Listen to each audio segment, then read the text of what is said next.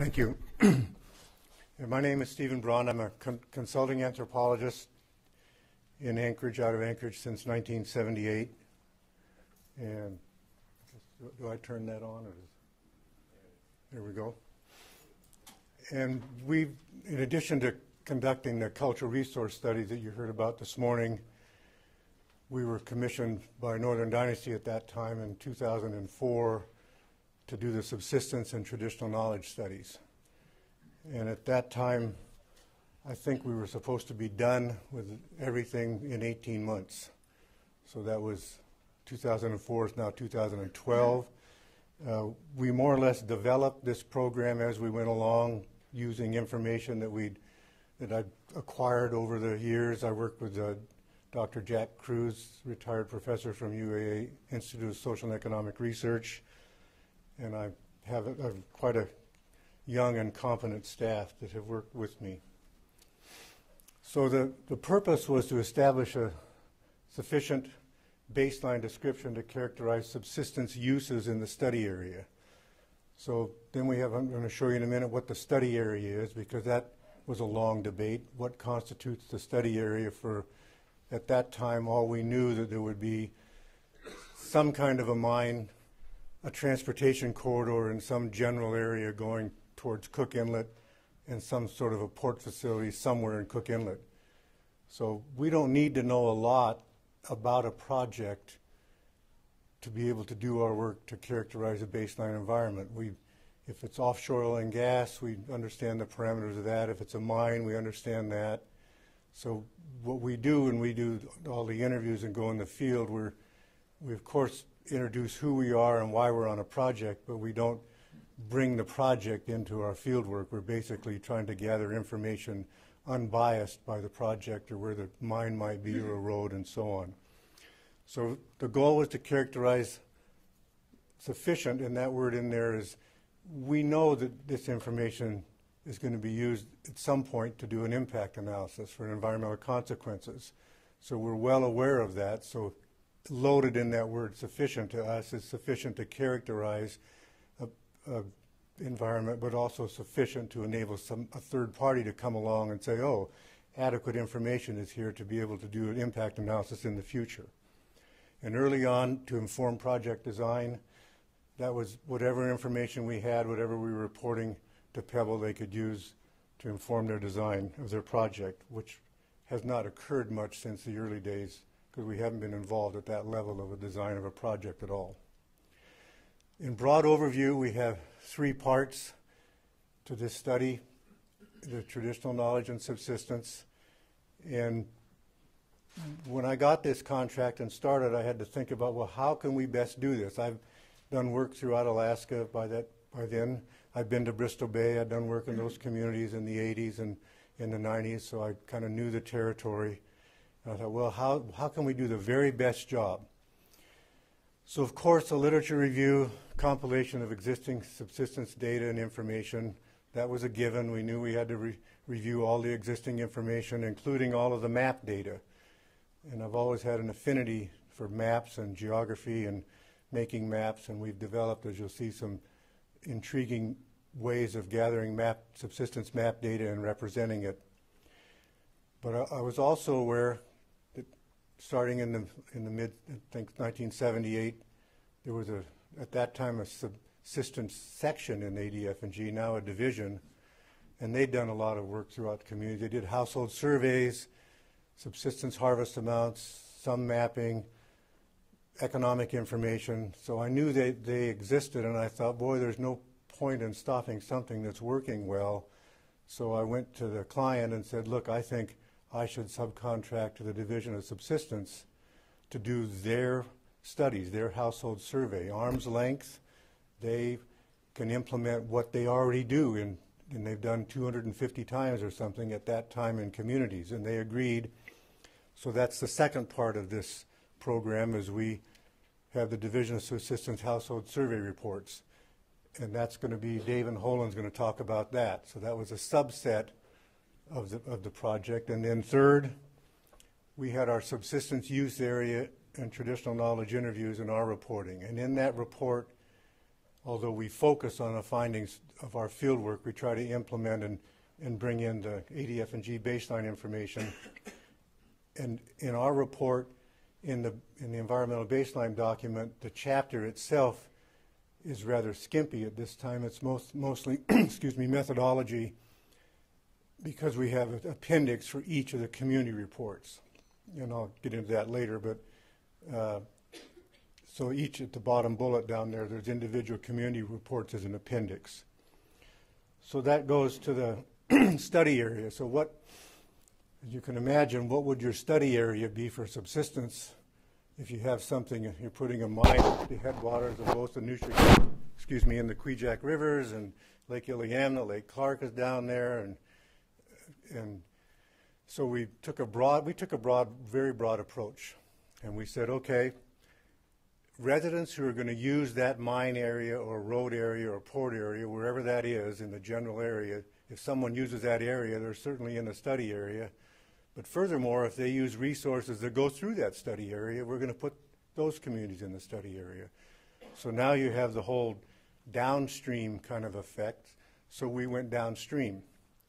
So at the broadest scale, we ended up with all the communities in Lake Clark and Iliamna areas. Downriver, we had 20 communities. So that was our study area. Then we also knew from other work we'd done that there's a potential that people on the Kenai Peninsula on the east side Kenai Peninsula would go to the west side and they could be affected potentially by if there's a port facility over there. So we said we're going to also include those communities in the broad study area. So back in 2004, I made this map and it didn't have Lime Village in it at that time and it didn't have Tyonek in it at that time, but it did have these kind of shaded circles.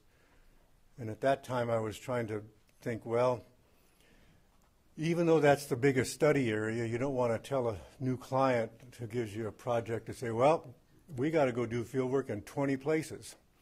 So I tried to prioritize them and say, well, hmm, maybe there'd be a more direct effect in the areas closer to the mine and maybe a more indirect effect the further away, further you are from them. And so we set up a tier of communities. I had tier one, tier two, and tier three.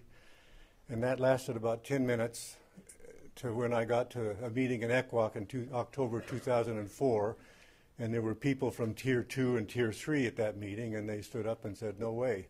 Even though we may live in Dillingham, that potential project is up in water headwaters that come down by us.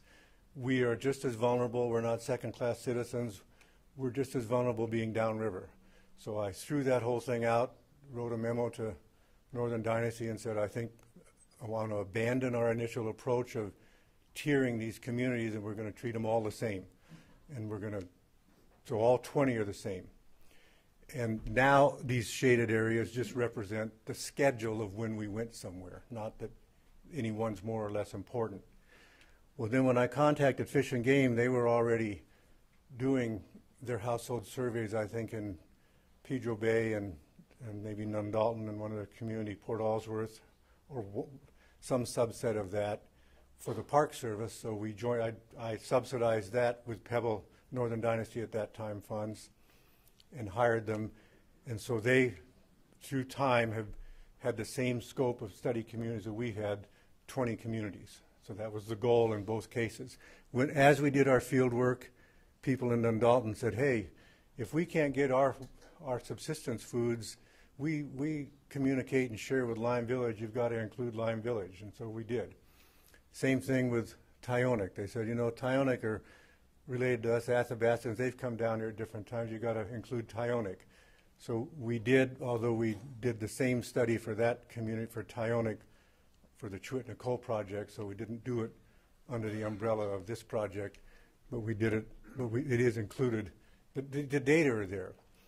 Now, our job is to provide an adequate baseline to me, this is my perspective, so the next third party or someone doing an EIS or an impact analysis, they have all the information they need to the best of our ability to go do that. So whether the Tyonek is in the baseline report for Pebble or not, but it's available, that, that's all that was important to us. So we didn't try to duplicate that study. So I'm going to go through this slide and then turn it over to David because they did their household surveys, I think, in 18 communities, and he can go into that. And their standalone report from the division. And to me, that was really important that we didn't try to influence at all what the Division of Subsistence did. We said, give us your standard procedure report, what you do for your typical household surveys. It's arm's length. You do your field work, you do your report. And the only thing we tried to influence is we said, but we want mapping. And so we worked with them and made sure that every one of their documents that represents one year of information, so they did the one year, had one year of mapping. And we worked with them to do that. They have household service, sur- surveys, they have residency, employment, harvest amounts. David will go through all this, and we're incorporating that into our baseline. So now I'm gonna let David talk about the ADF and G household surveys, and I'm gonna come back and talk about the subsistence mapping and TK part.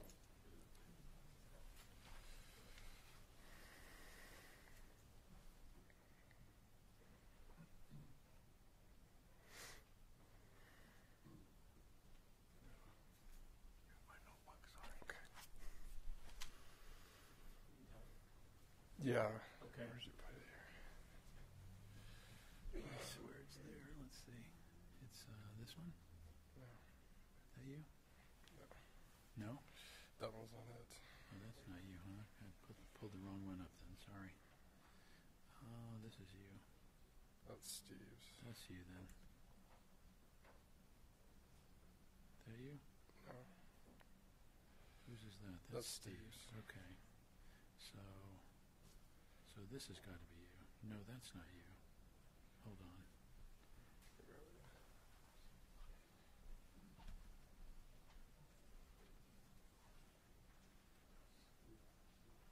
What's the What's the name of yours? Me what. Show me which one it is on there. It says Keystone presentation, which probably doesn't help you. Since Keystone presentation. I know I had it on there. What did I do with it? I can load it again real quick.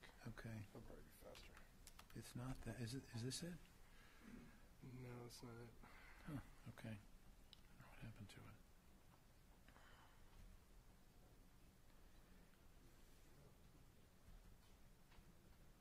There we go.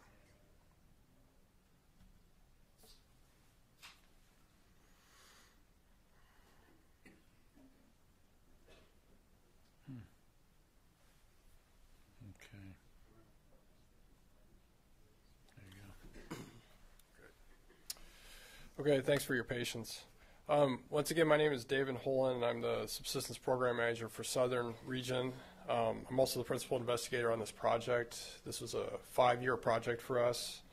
Um, the Southern Region, just to give you an idea, we cover um, everything from the Aleutian Islands uh, through the inter- uh, inter- southern interior of Alaska all the way to southeast. Um, so we have quite a large region with um, only about eight researchers. Um, and so it's, it's quite a, that's why we, uh, we, we can only get to some of these communities every so often. Um, one of the things that, that Steve mentioned is that we have just a one year snapshot of these communities. Of course, there are quite a few communities in southern Alaska that are rural communities, and so we can't do these type of surveys every year, but um, we do them as they come up, and we do them as uh, funding becomes available. And that's an important component of this, um, whether um, the funding comes from the through a subcontract from uh, Steve Braund and Associates or the National Park Service, the U.S. Fish and Wildlife Service, or once in a while the state actually pays for a survey. Um, it, we do them regardless. We do them exactly the same, um, and so that's that's how we, we, we function. We we try to present the data in an objective manner. Just to give you a little bit of background about the Division of Subsistence, we are, like I mentioned, a very small component of Fish and Game. About eight researchers within um, uh, infinite amount of biologists at the Department of Fish and Game. Um, so um, the subsistence law has been around since 1978, and um, the, the things that are important to, to understand here is that our job is to provide information about the customary and traditional use of resources, to establish customary and traditional use and then provide information about the amounts necessary for subsistence. And the only way we can do that is through surveys like this or some kind of permit system where we actually ask people to record their fish harvest, for example. Um, over 30 years, we've worked in almost 220 communities in rural Alaska. Um, we are constantly busy trying to keep up uh, because of our small staff, um, but we are we are starting to grow a little bit and um, and and actually getting some funding from the state to do some of our research. So it's it's been a it's been a little bit of a transition for us as we try to keep up. We we this is our research focus. Um, we look at the seasonality of fishing, hunting, and gathering. We are mainly staffed by anthropologists um, that have worked with um, mainly rural communities in Alaska. Um, and quite often those are indigenous communities. So we try to understand seasonality from an indigenous perspective, um, at the role of the season as it plays in subsistence harvests. We look at methods of harvesting processing, sharing of, of, of wild foods. Uh, the sharing of wild foods or subsistence foods is very important uh, within economies in rural Alaska. We look at um, the areas of harvest and use, and the mapping that we've been collecting uh, for this project and for others is, is very important. Um, and uh, through this process that we've worked with with Steve's staff over the last few years, we've really developed a very robust mapping methodology. And because of this project, we have employed that methodology across all of our projects. And we do that um, uh, continuously from now on. Um, GIS has become a large part of what we do. Um, and it's something that I'm really interested in. Like Steve, I love maps. I love making maps and you know, working in GIS. And unfortunately, as a program manager, I don't get to do that so much anymore. But uh, I, I, I, make sure to hire staff that can do it now. Um, we look at cultural, social, and economic values. Um, of course, the, the social values attached to subsistence. And like I mentioned, the sharing, uh, trends in harvest and use patterns. Like I mentioned, this is a one-year snapshot. This year will not be the same as every year. Um, there are always changes in, in um, populations. There's changes in harvest patterns that happen.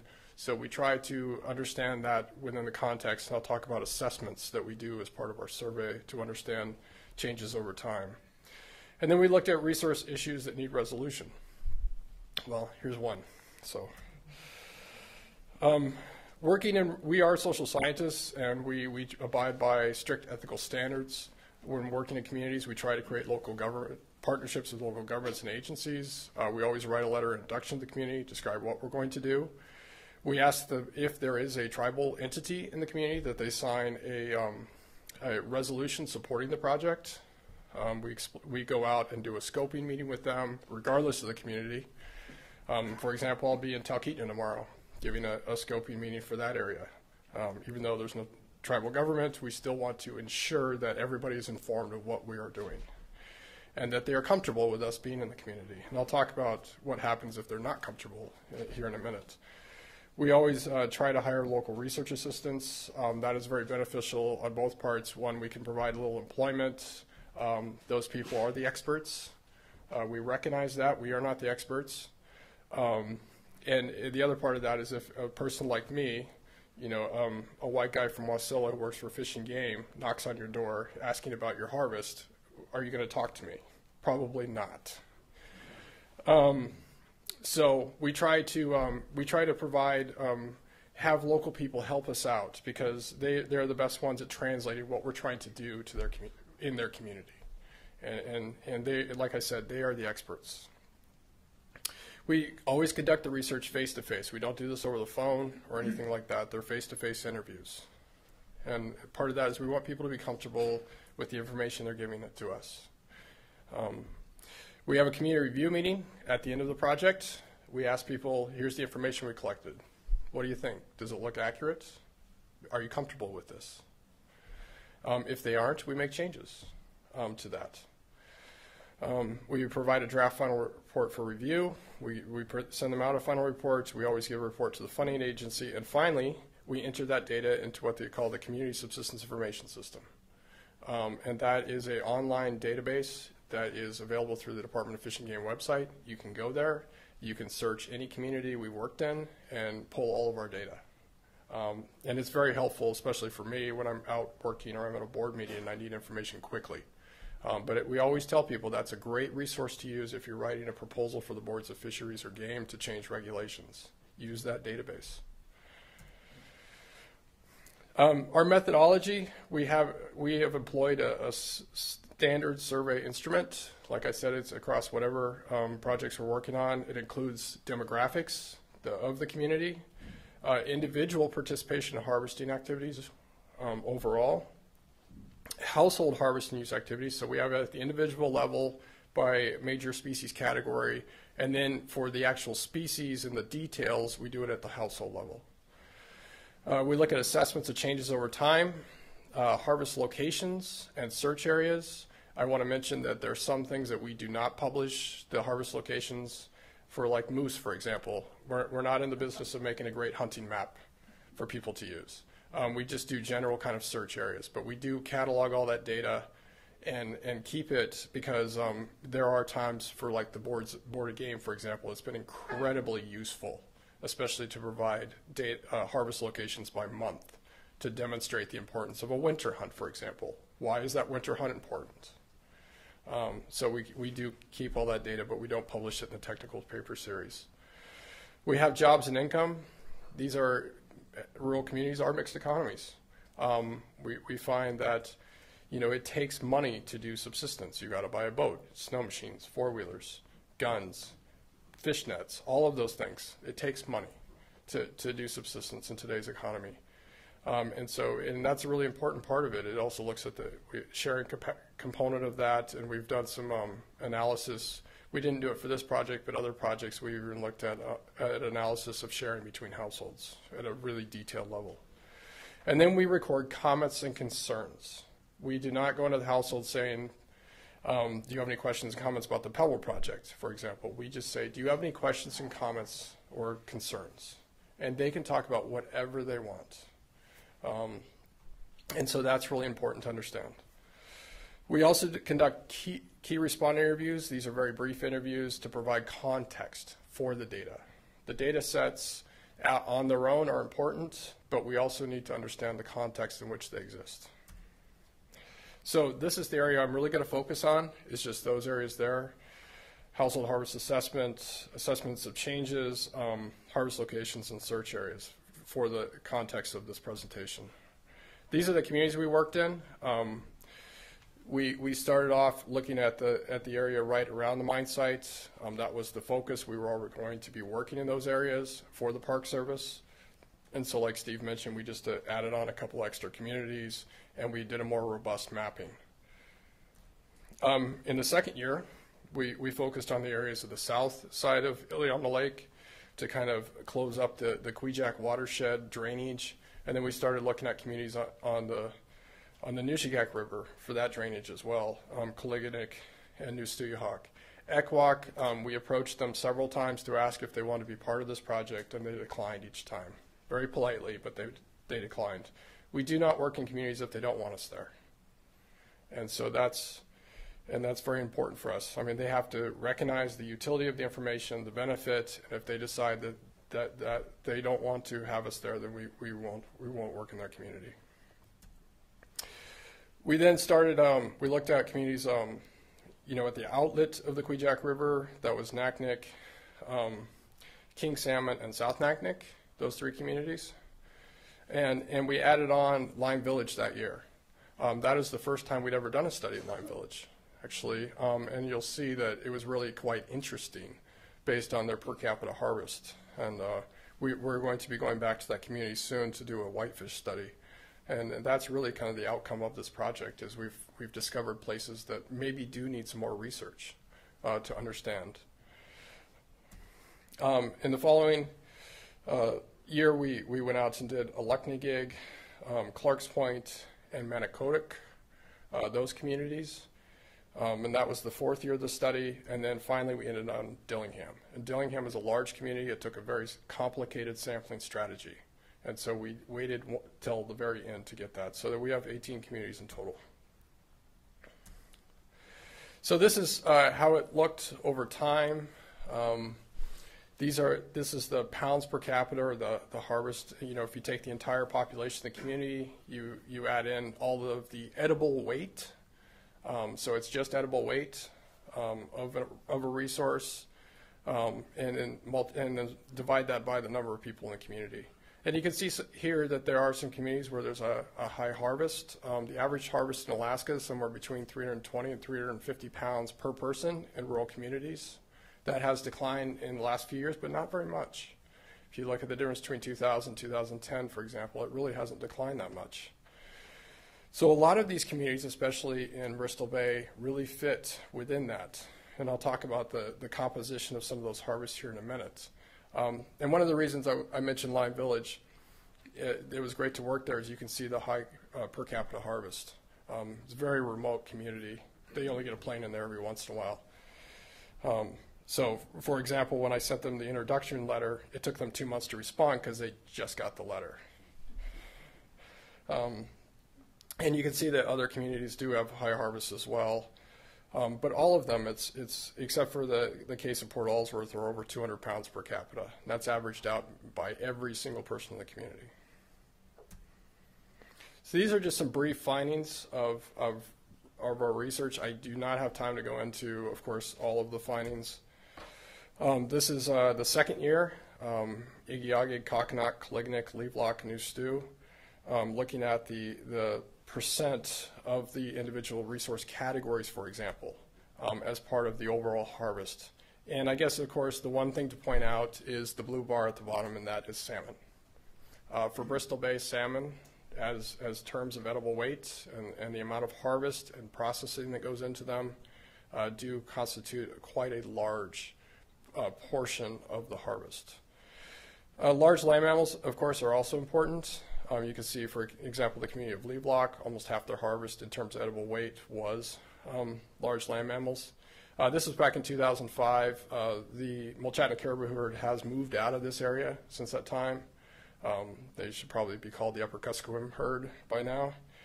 Um, but they are they are they will eventually come back, and that's one thing about learning about traditional knowledge in these communities. People talk to us about that. You know, this is a natural cycle. They stay for a while, they go somewhere else, then they always come back. Um, so that's part of that. And, and of course, moose since the 1940s have been important resources in this community since they showed up. This is um, Aleknagik, Clark's Point, Manokotak. Um, very similar type of, of, of harvest, um, although you can see we, we are starting in, to get into the importance of marine mammals as well in these communities um, down in Bristol Bay. And so they do have a higher harvest. You can see Clark's Point. Clark's Point did have a high per capita harvest. And I don't know if you noticed that in that bar, it was very high. Uh, there are some main hunters there, and they share their resources with people in Dillingham. And so, although the, a lot of the harvest happens in that community, we did go back, we verified the harvest to make sure we were, had the numbers right, that we weren't making a mistake because it was so high. And that's what they related, that they share a lot of it with people in Dillingham. So, although you see the Dillingham per capita harvest, the lower, they do have a lot of resources coming in from relatives and friends that live in other communities. And they do a lot of sharing and, and participation with those, those folks in other communities. And this is uh, our last one, Dillingham, um, that we just uh, are just writing up.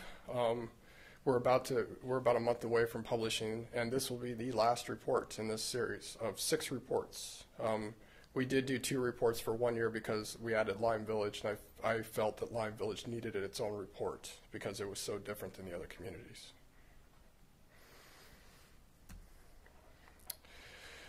One thing I wanted to point out was individual levels of participation. We have very high levels of participation in harvesting. Uh, and this is um, the, the first bar is birds and game. Second one is fish, then fur bearers, wild plants, and then just any resource. And you can see overall, for example, in Igiugig, almost 98% of the population participates. There was a newborn in the community. Igiugig is a small community, so if, that's pretty much what it was. Um, although we do have, you know, if kids are out berry picking with their parents, even if they're riding on their, their back, they're participating. Or if they're down at fish camp just helping out, you know, they're participating. Um, and, and that's an important cultural component. And I was in Kokhanok last week, and people kept telling me that, you know, that this is important for our kids to come, even if they're not, you know, really helping. um, it's important for them to be here because eventually they will help. And again, Aleknagik, Clarks Point, Manokotak, still very high participation rate. Um, you can see Clarks Point, for example, 96%, very small community. Um, since that time, I, I believe um, they don't have as many people in the community because of the school, um, but there's still, I mean, everybody there really participates. And, and this is Dillingham. So even very central type of community, we, we still see a high participation rate in the harvesting of, of resources. These are what our maps look like. Uh, these are produced by, by Steve Braund and Associates. Um, they produce all our maps for us, um, and they have helped us over time help build our own GIS capacity to do this ourselves, which has been really great um, in sharing of this, this, this methodology. And so this is um, the hunting of moose in Kokhanok, for example, and you can see that although Kokhanok is located just on the south side of the lake, they have a very extensive area for hunting moose. And I don't know if you've been to Iliamna Lake. I'm sure some of you are from there, of course. But it is a very, very big lake. Um, and just to go from Newhalen, for example, down to the Upper Talarik takes forever in a boat. Um, and so this is a very large area for people to be hunting. Um, and, and these are the, the areas that they're out there searching for moose. This is um, sockeye and spawning sockeye harvest for the community of Aleknagik which is on um, Lake of and, and people use an extensive area in this Wood-Tikchik State Park uh, for those two resources. And you can see they go all the way down to the Kvichak to fish. And this is the moose for Dillingham. Um, of course, that, that Nushagak River drainage is very important for people to hunt moose. Um, and that's one of their major corridors that they use to, to hunt. If you fly over this area, in a plane, you'll notice that it, it's very tundra-like, and then all of these rivers have trees around them, and that's where the moose are. So it, it's really actually incredible to do that, to fly over this area, and you just see that. You know, every time you pass a river, there's a couple of moose standing in the water. Um, so these river corridors are very important for people.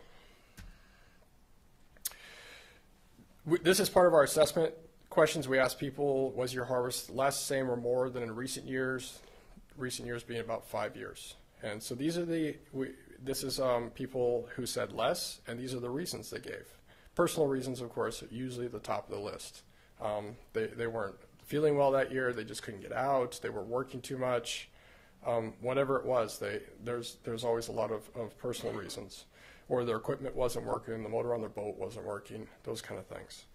But there are other reasons, like um, animal population changes over time, of course, um, and, and, or there are other outside effects. So the, you, there are lots of reasons why people don't participate, but as you can see from the other charts, there are there still is a lot of participation going on. We also look at harvests over time. In 1973, the University of Alaska did a study. So even before the subsistence division was around, there was a baseline study done for Bristol Bay, and we've included this in all of our reports. Um, you can see that uh, for Aleknagik, there were three study years where baseline studies were done. And this is one of the reasons that it was very important for Steve to make sure that he updated the data because the most recent year for Aleknagik, for example, was 1989.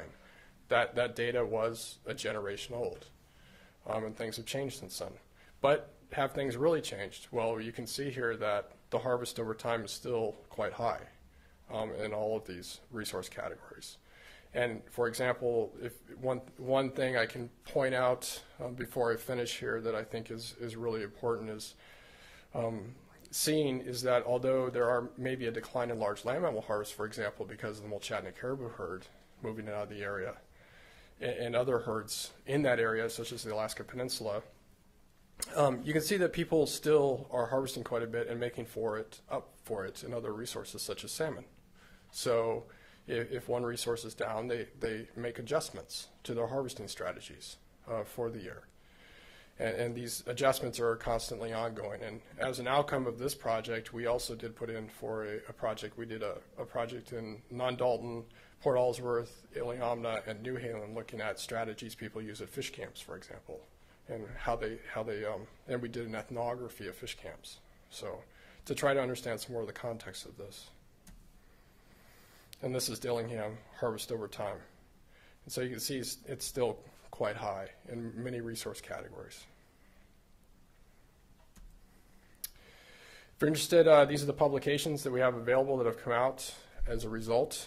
Um, these are part of our technical paper series. Um, if you go to data and reports on the fishing subsistence fishing section of the website, I made sure to put a link there uh, for data and reports, and the data will take you to the CSIS, the Community Subsistence Information System. The reports will take you here, and and you can download any of our reports that we have um, in PDF format. And this is how we distribute them these days. And within a month or so, we'll have the uh, Dillingham report out. That'll be the last one.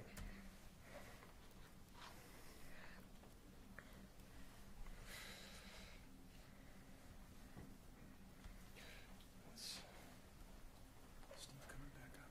Yes, Okay. This is where, I think this this is where he left off. Thank you, David. And I might point out that he ended on those six reports. Now, those reports, when you say, where's the Pebble EBD or environmental baseline document, those reports aren't attached to that. But as I viewed our job was to make sure there was a sufficient baseline documentation of the subsistence environment. I knew those would be publicly available. So the next third party that comes along that's going to write the EIS or the impact assessment, we would expect them to go to those six documents, as well as the database in the community, the online subsistence database. So that stuff's all provided, although it's not in the folder itself or the binders of the EBD. So we'll go next to our our interviews, and we did not do household surveys. We did key. We selected people. and I'll explain that in a minute. To do interviews, and we were looking for active harvesters. We wanted the people that were active out in the land. We didn't ignore elders or inactive people, but we didn't ask them the same set of questions. If we had an elder who hadn't been in the land for 20 years, we would go more into the ethnographic or the cultural resource interview. And, and, and we had really adaptive research here. Over time, as we learned more, we would modify it and adapt to what we were learning. So it took us a while to get to that, to say, boy, we shouldn't be asking this person about his activities in the last 10 years or last year if he hasn't been out doing anything for 10 years. Let's ask another set of valuable questions to that person. So we did focus on trying to get active harvesters or knowledgeable users. We described the project and explained the benefits. The benefit was primarily information for environmental analysis and mitigation, and also the risks. So this is kind of like informed consent. Before we, someone agreed to it, we had an informed consent form that they would sign, and we would explain to them, the downside is you don't know how someone's going to use this information. We hired local people as liaisons to help us in the community as it was appropriate or they were available. Often our interviews lasted from one, two, three, or some cases four or more hours. And that gets kind of boring for a local person to sit and ask, and it's really out of context culturally to them to sit down and be asking somebody all these questions and over and over. So primarily they became people that helped us contact people, and they were more than welcome to participate, but it just wasn't exact. It wasn't didn't fit with their their lifestyle well. The community would choose who we would interview. We didn't come in and say, "Oh, we want to talk to certain people." We'd we'd get it, and I'll explain that in a minute how that happened.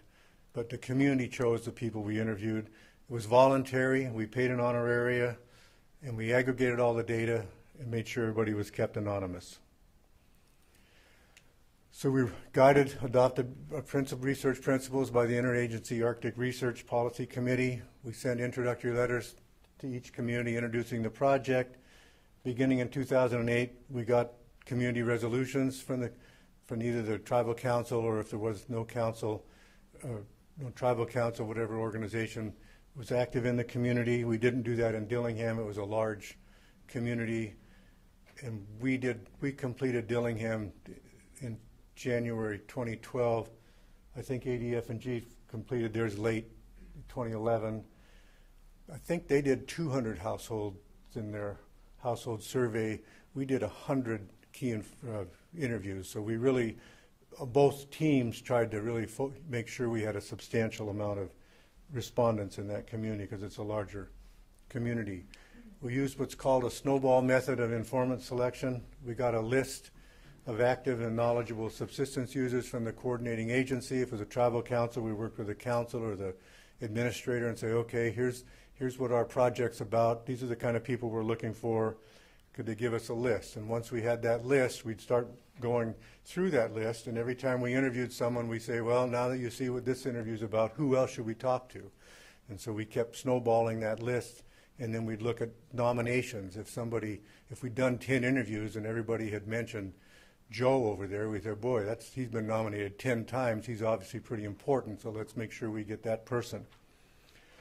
After the field work was done, we would send a confidential letter to the tribal council and we, we would say, here's who, here's the names of the people we interviewed, because we were not doing a household survey, what Fish and Game did. They would try a census of all households in the small communities or take a sample like in Dillingham, but we were looking for key people, so it was really important if we missed some people, and in fact, we went back to one community just to talk to one person. We took a special trip because we'd missed that person. So we'd send a list of who we talked to to the community, say, here's the people we're using to characterize your subsistence use areas, because use area is different than harvest amount. Different people may go different places. You can take a statistical sample of harvest amounts and generalize to a community, but not necessarily use areas. And we learned this in Barrow in the 80s, that different families do different things. So we wanted to make sure we represented all the use areas of the community. If we didn't get a response on that letter, we'd send another letter. I mean, we bend over backwards in trying, understanding the time clock in these communities wasn't our clock. It wasn't 30 days or 60 days, although we'd say 60 days. We'd send another letter in 30 more days and another letter in 60 days, or we'd call them, so we really would take time to, to get their response. And if they said, no, you didn't have enough interviews, we'd have right in our letter, when should we come back? In two, this week, this week, this week, this week, and we would go back to the community. So the 18 communities that ADF&G has done are listed here in their study years. And then we have gone to 19 communities, and uh, we have not gone to Manokotak. We've finished every community but Manokotak. We've tried twice to go to Manokotak, and we're a little more persistent, so we're going to try one more time. So they just have not agreed to participate yet. We started in the, in uh, Nushagak when ADF&G was over in Iliamna, as you saw on David's map. They were in the Iliamna area, and so we were in the Nushagak first. By the time ADF&G was going to Nushagak, had become more the Pebble project had become more politicized, and and some communities said, no thanks. So in the 19 communities, we, and I'm going to get to this in a second, we talk, what we did is we looked at last 10 years. We knew ADF&G was going to do last year, and you saw the host of variables they looked at, harvest amounts and sharing and distribution, and, and it was only last year. So some time ago in, in my research, I thought, because we did a lot of pre- pre-NEPA baseline work or affected environment for NEPA, and we had to talk about current conditions. Well, what's current? Is that what you did yesterday or last week or last year? So probably a couple of decades ago, I established in my office to say, well, current for us is going to be last 10 years. And so that gave us a pretty broad spectrum to be able to go to a community and, and try to and say, look, we want to characterize your current behavior in their current harvest patterns, but we don't want to narrow it down. Maybe for some reason you didn't go somewhere that you would you, you would usually go, and so we didn't want to make it one year. I went to 10 years, and it seemed to work. It seemed to work with agencies accepting it, and it seemed to work in local communities they accept it. So we went to last 10 years. So everything we're going to talk about here is last 10 years, and we call that current information. We're very GIS and map oriented and these are the, in these communities, this just gives you an idea of the, population of the community, the uh, number of persons identified to talk to is 981. We talked to 648 people in those 19 communities in 356 different workshops, and in 38 trips to the 19 communities. So this is a, quite a large number of interviews for 19 communities, and you can see how many were done in each community. There's the 100 in Dillingham. We had a community review meeting presenting our, uh, I don't know if this is Fish and Game, I'm not, I wasn't sure David was going to be here, so that, not going to go over those two slides, that's what they did. So we have completed 15 community reports in those 15 communities. We offer to make a presentation in each community. Scheduling that is, became increasingly difficult throughout Alaska, not just in Bristol Bay. People are busy, and it became quite burdensome, frankly, and often not well attended. So we changed our tactic to say, here's the draft report. We're happy to come and do a presentation, but on your schedule, and if you'd like one, you let us know. And we made sure that offer was there. But even when we were trying to do them, we only got in in uh, three presentations, and they were not well attended. The people that came thoroughly enjoyed it, but it's a it, it's a, they're busy communities. They're throughout Alaska. They're really inundated with all kinds of activities and projects. We finalized uh, 13 community appendices and have delivered those to Pebble. Not Nondalton and Ekwok. Neither of those communities have given have authorized us to give the report to Pebble. I should explain the caveat. What we did is we took each of these reports and we told the community, you get the review of that document before Pebble ever sees it. And so if you don't if you don't approve of it, if you don't want it to go forward, you hold the cards, it doesn't go forward. And so in those two communities, they have not authorized us to deliver that report to Pebble. So that there's only three copies of the Nondalton report. There's four, one in our office and three in Nondalton, and there's four of Ekwok, three in Ekwok and one in our office. And they haven't agreed to release it yet, so Pebble has not seen it. So that of the thir- 15 we've done, Pebble only has 13 of them. Aleknagik, Naknek, Clarks Point, and Dillingham is in progress, and we, as I said, we haven't done field work in Manokotak. So the objective of our studies, as I said previously, to, to, to, describe the role of subsistence in the communities, to document and describe historic and current harvests and subsistence uses, current being last 10 years. So everything that goes forward is a, 10-year data. And we also tried to gather local perceptions. We, we're looking after habitat. What do people know about habitat? And we talked to areas important for health and abundance, to resources, thinking habitat wouldn't be a word that people really identified with in the communities. We have a local issues and concerns section at the end. Just ask as much as Fish and Game does. We don't specify, are you worried about that offshore oil well, or are you worried about that mine over there? What's, what are your local issues and concerns? And at the end, we might say, do you have any particular Pebble concerns or particular project concerns? We also, for each of the resources we talked about, once we talk about where people go to harvest those activities and the other variables you'll see in a minute, we asked about resource use, abundance, quality, health, migration, and, and distribution. So those are all biological terms. And what we were trying to do is lay the groundwork so the biologists could key into this, what we're calling traditional knowledge or what local people know about resources in their area. So we could, the goal was to get this to be integrated with the biology that was being done in the baseline. And lastly, down here, you probably can't see it, and one of the most important things I think we were trying to do is establish and describe subsistence baseline indicators. So what, what could we provide in these study communities that we could identify now that we call baseline indicators that then could be measured in five more years or 10 more years, or if a, a mine goes in or a, a well gets drilled or something happens, we've established these indicators now. We've set up measurements for them, and could they come back and be measured later and then talk about the, the change? So in terms of what's a baseline, to us it was status and trends. Are, there, are there trends occurring? What's, what's the current status and what are the trends? So we wanted to get a suite of indicators that you, were, you could measure over time and could lead to an understanding of the multiple causes. We didn't say the cause because we know how difficult it is to the actual cause. There's no caribou here today. Was that because there's no food or because there's a helicopter flying over and scared them away? So we don't know the answer to that always definitively, but we're trying to prepare and, and establish indicators and ways of starting to get to identifying those causes of change. So here's the indicators that we came up with. The ones in red are the ones that came out of our research, and the ones in black are the ones that you heard David discussing previously.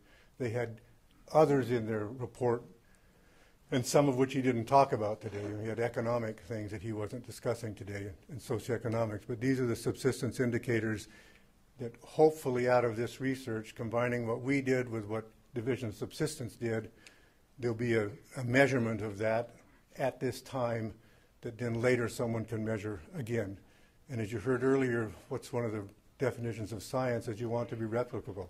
And so that's the idea. Someone could come back in, do the same research, replicate it, follow a similar or the same method, and come up with findings that you can then measure in the future.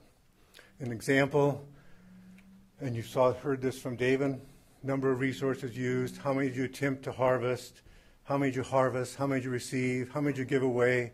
There's measurements of this, and if it's if they're all high now and you come back in 10 years and they're all low, you're saying, well, what happened? There's been a change here that we can measure. Now, what was the cause of that change? And again, these are probably similar numbers that David had in different communities. Those are just the different values for those different indicators. So again, per capita range, this is for the first 10 ADF&G study communities from 132 to 977 pounds. You can look at it for a mean across the communities. You can look at each different community, how many resources were harvested, and so on. How many households were participating, how many households, was the percentage of sharing. So now to our specific interviews, I said we focused on active hunters primarily. We also had retired elders and retired hunters. We did a lot of, we did all the resources. We decided we weren't going to pick key resources. We weren't going to to do that. We just we went down the whole gamut of resources. We did it for the last 10 years. We looked what were the months you did that activity for that resource, how successful were you in that harvest, how many times did you go there, what was your we looked at harvest season, so when's the seasonality in the last 10 years to be compared with last year. What are the travel routes? We identified camps and cabins, and then again, meant, talked about changes in use, abundance, distribution, migration, and health of resources, and then issues of concerns. So now we're only going to talk about 12 communities. That's the 12 communities in the environmental baseline, 10 of which were delivered to Pebble because the other two hadn't agreed to, to release their report. So we're only talking about, but this is, we, here's the, the, the, the method of the 12 communities, and you can see that by the different geographic features in GIS, cabins, camps, harvest areas, and so on, we had 26,000 uh, geographic features in our mapping report. We consolidated all the resources into 15 categories. Some are species specific, caribou, moose, and other large land mammals. Seals were specific, but fish, we had fish and salmon and non-salmon. Waterfowl, we lumped together. And so upland birds, eggs, berries. And so this, this was a long dialogue in our office over a winter of how we should categorize these, which ones we should lump, which ones we should break out. And we came up with these 15 different categories. And that's the categories that we report the findings under.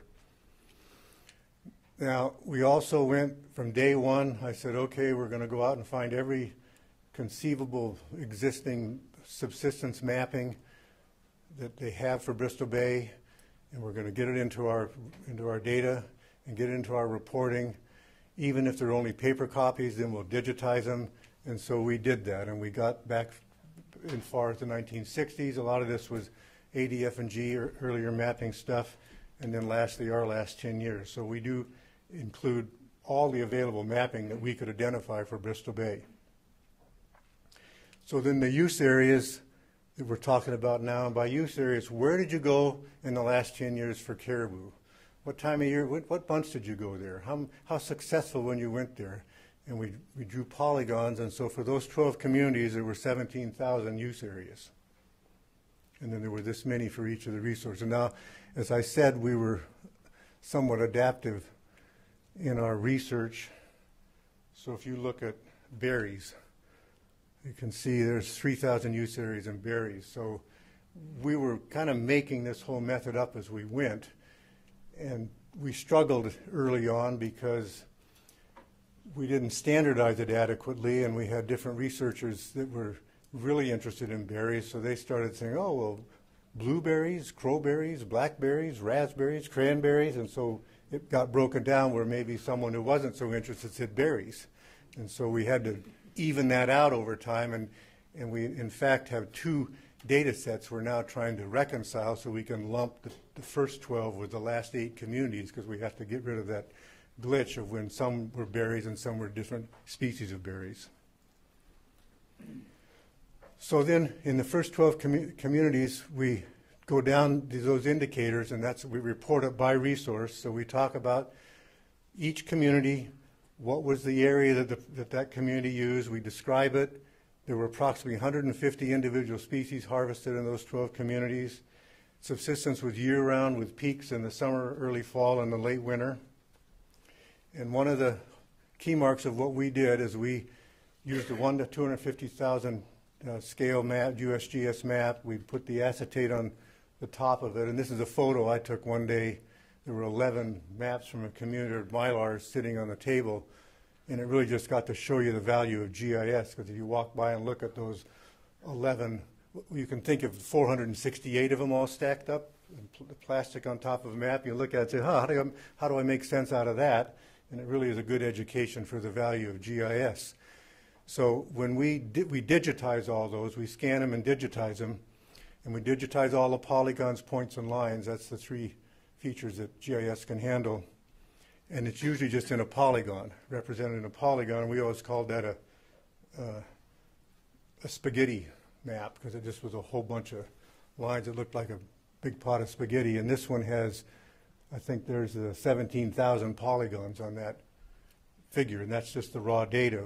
And as you saw in the fish and game maps that we made for them, the typical way of representing those 17,000 polygons would be like this. And it was years ago on the on another mining project that the mining manager came into my office and said, "Gee, I just want to see what you're doing." And I said, "Well, here's we're making these maps, and we got a map that looks like this. And, we, and, we, and when we're all done, we do put the mine site on the map so you get for reference." And he looked at that and he said, Well, that's not fair. And I said, What do you mean? He said, Well, you're telling me that all that area, first of all, he said, Huh, well, that's easy. We're only going to affect that little dot, and they got that whole big area. They're, we're not going to have an effect on their activity at all, are we? And I said, Well, no, it doesn't work that way. And then he said, Well, okay, but that's not fair because you're telling me all that's equal.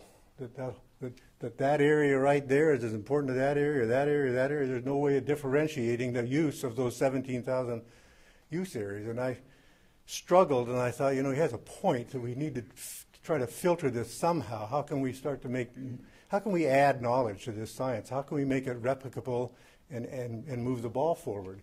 So what we did, and it, and it was with the Pebble project, is we took all, each polygon and we divided it into a 100 meter grid and then we assigned a value of one for each 100 meters, and then I hired programmers and said, okay, write me a program when I stack all the polygons up that every 100 meters it can count the number ones going down 100 meters.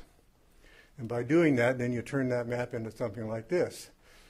And it, it just visually gives you a great, a much better sense of what, of what, where more people are going more often. So it's only overlapping polygons, overlapping use areas. It's not where they're more successful. It's not how long they stay there or how much they get there. So it's not what we called intensity. It's not a measure of importance. And we tried that. We took all those variables we had, success, number of pounds harvested, everything we had, and we said, let's put that in there and see what that looks like. Well, I bought a brand-new Dell computer, and we set it up on Friday, and we came, we just took Caribou for one community. We came back Monday morning, and it was still cranking along. And when it finally got done later in the week, and we looked at it, it didn't look a lot different. And I said, well, let's just go this far at this time and save the rest of that for a future endeavor. So we stuck with just doing this methodology. So then I'm just going to briefly show you that was that was 12 community. Whoops, page up. There we go. That was 12, 12 communities and the 17,000 polygons. And I'll just run down this very briefly. That's just Newhalen. And you see in every one when we make the map, we put the mine site in it. And you can see even in Newhalen, just like what David was talking about, look at the importance of those rivers. So people in Newhalen might be going visiting somewhere else, and they're using those rivers. Igiugig, Iliamna. In Iliamna, it's interesting, you know, somebody had an airplane, and so, or more than one person had an airplane, so they had a pretty broad use area. Kokhanok, Koliganek, Levelock, Stuyahok, Pedro Bay, Portage Creek, Port Alsworth.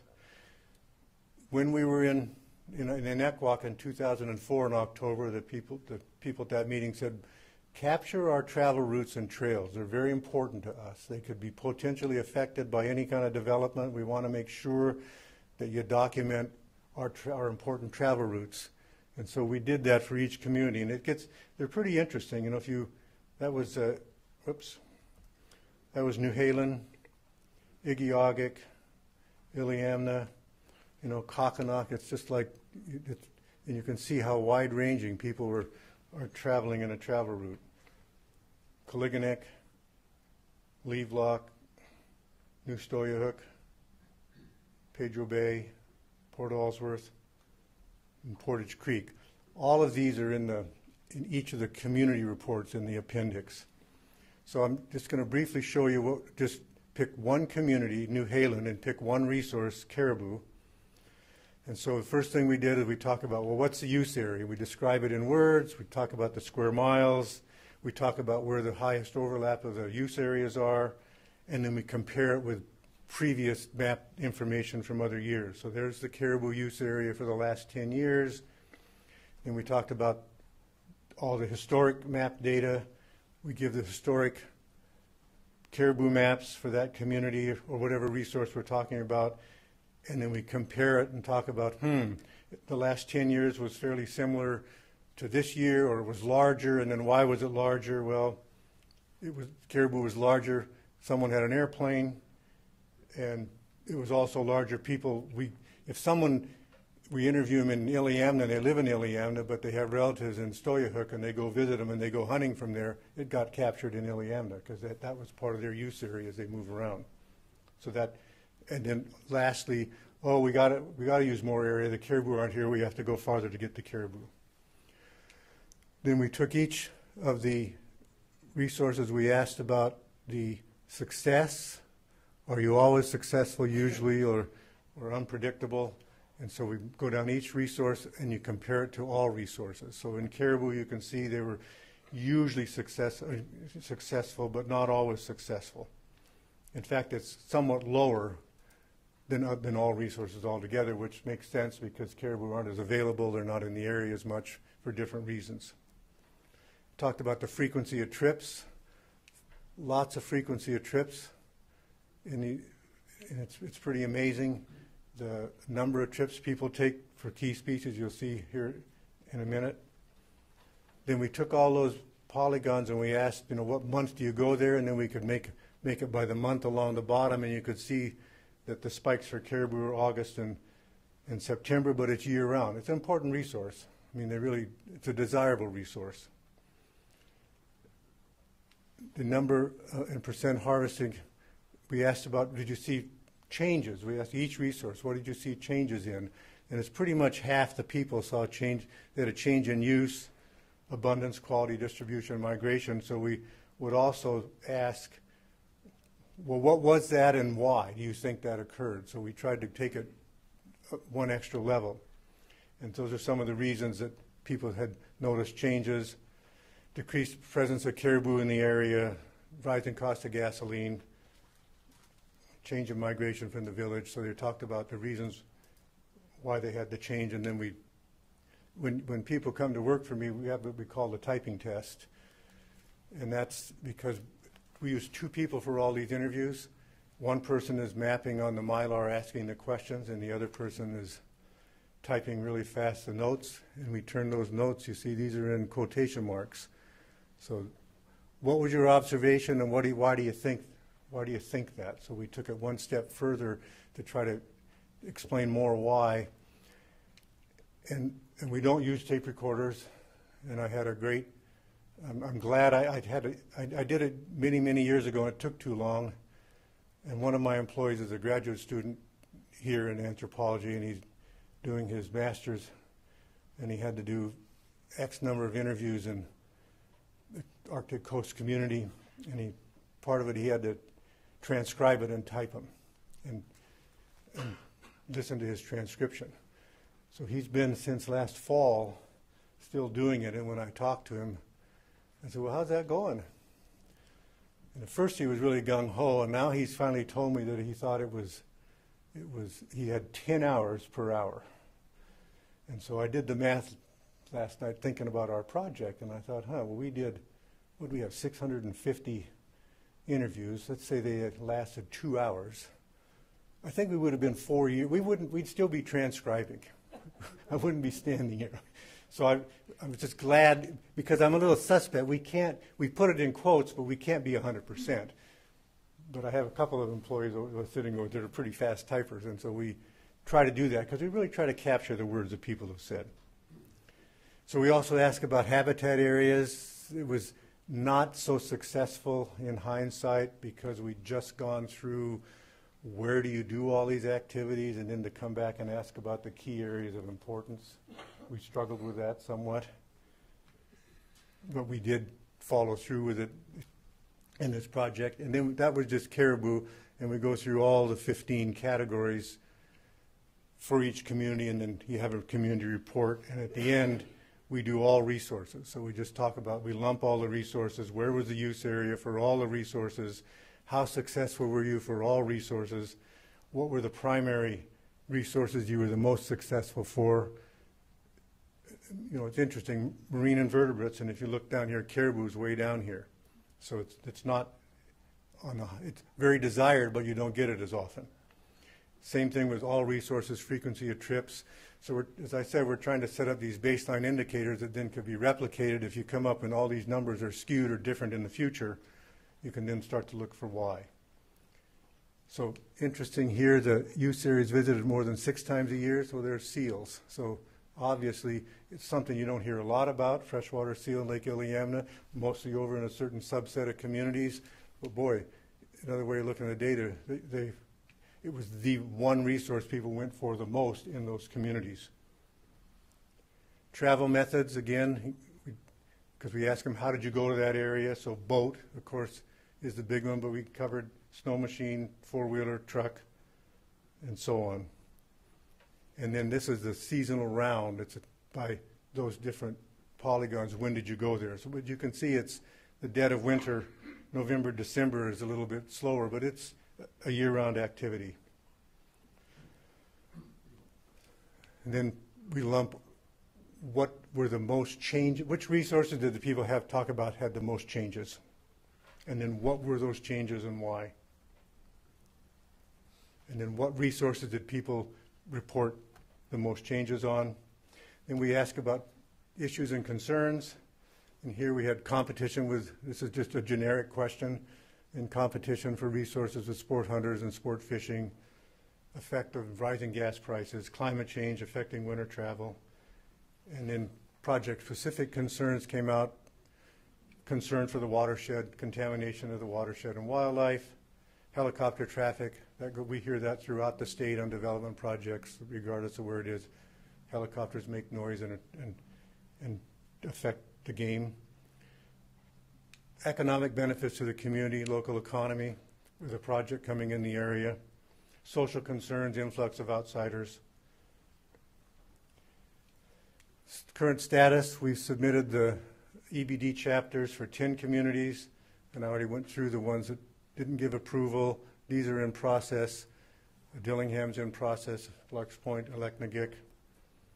We did not characterize the west side of Cook Inlet yet, but that we, we've done literature review on that, but we haven't done any work there. That was, and then we have that remaining, finish those reports, and then a synthesis. And we haven't started that synthesis, which really should be the EBD. You'd be reading a synthesis with appendices of individual chapters, but we can't do that till we finish all 20 communities. And again, the status, you've got, heard from ADF and G where they are, and they've finished their last report. It's in draft form at this time under review. And I think there's 19 or 20 people here from my office that have worked on this project since 2004. I Want to acknowledge them. There's been a lot of effort and a lot of good work, and also to, to thank the communities. So that's, if you have any questions, I'll answer them. If not, you can move to your Great, thank you. We'll get to the, we'll get to the questions, um, we'll get to the questions a little bit later, um, directly for, for Stephen and, uh, David. But I wanted to, I'll, we'll give you all a fifteen-minute break right now. Uh, so let's do that. When we come back, we'll, uh, set up the, the panel discussion. So thanks again.